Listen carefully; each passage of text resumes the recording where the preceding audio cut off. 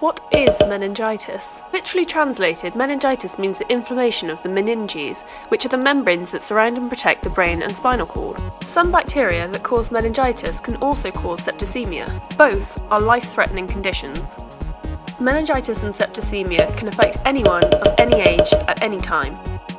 Those most at risk are children under 5, 15 to 24 year olds, and the over 65s. Meningitis and septicemia can be difficult to spot in the early stages. The symptoms can appear in any order, and some may not appear at all.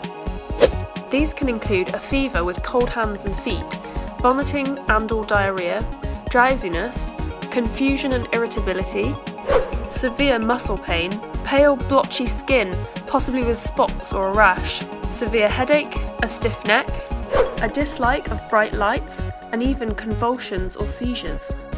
Other symptoms to look out for in babies can include fretfulness, dislike of being handled, they might be floppy or unresponsive, rapid breathing or grunting, an unusual cry or moaning. The fontanelle, which is the soft spot on top of the head, could be tense or bulging. It's so important to trust your instincts. If ever you suspect meningitis or septicemia, get medical help immediately. You can call NHS Direct or your GP, go to your nearest A&E or dial 999 for an ambulance.